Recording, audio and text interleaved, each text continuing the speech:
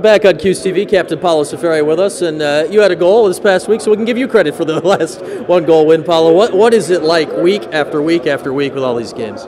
Nerve wracking. uh, honestly, it's it's um, just a, a, battle every game. Um, every game we can expect a competition, especially the last three weeks with big opponents. Um, and honestly, it's possible that tomorrow is another one goal game with Hobart because it's for the Kraus Simmons Trophy. It's a big game every year.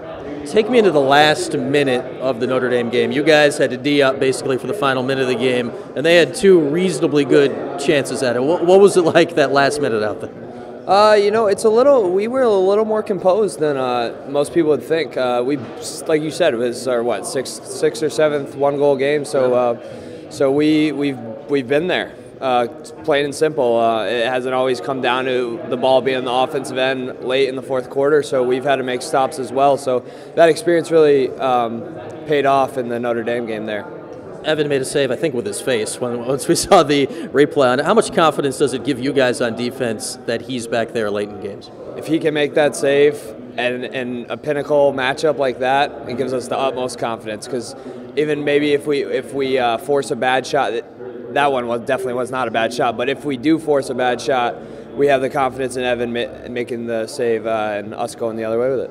What was the matchup like for you guys all day long on the defensive midfield, where you and Joe and whoever was out there had your matchups, but you were always aware of where Perkovic was to, to, to, slide in his direction. Yeah, he's definitely the guy you got to uh, dial in on there. Um, they certainly have some good other players, but he's he's certainly who they want to have the ball in their stick. Uh, he's the one they want taking the shot and he's the one they want scoring the goals. So uh, just to be able to focus in on him was was and uh, take away maybe some of those things that they really wanted to get going uh, helped us astronomically on defense. Where do you guys feel you're at team wise in development this year? Because you can look at it and say, oh, it's a one goal game every week, it must be the same.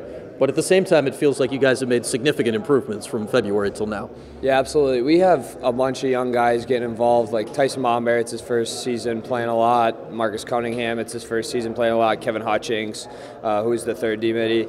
Um, Andrew Helmer. Uh, the list goes on. So uh, being able to just uh, work together over time, practice every day, getting those guys game experience, especially in, in really tight games throughout the season. Um, just gets them more comfortable, and that and that comfortableness uh, leads to confidence. And um, once you have confidence, you can really uh, trust each other on defense, and that's probably the most important thing. Right, Paolo, you mentioned already the Kraus Simmons Trophy. Does it help to have this game, since it's a short turnaround, to have it be such an important game here in the middle of this week? Yeah, I think so. If it was uh, if it was a game that maybe um, the team wasn't as good or something, or it wasn't a historic rivalry or something, it'd probably be a little harder to uh, really focus uh, going into the game. But mm-hmm. since uh, this historic rivalry is coming up quick, uh, we've been able to uh, really hammer down what we want to do in this Hobart game early on in the week and go into t- tomorrow with the right mentality.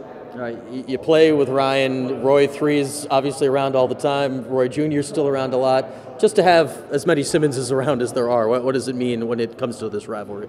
You feel kind of obligated to not only do it for yourself but for them, uh, for the tradition of Syracuse lacrosse, um, and that's that since what is it? Roy, Roy the first came around, um, and whenever hundred years ago or whenever that was.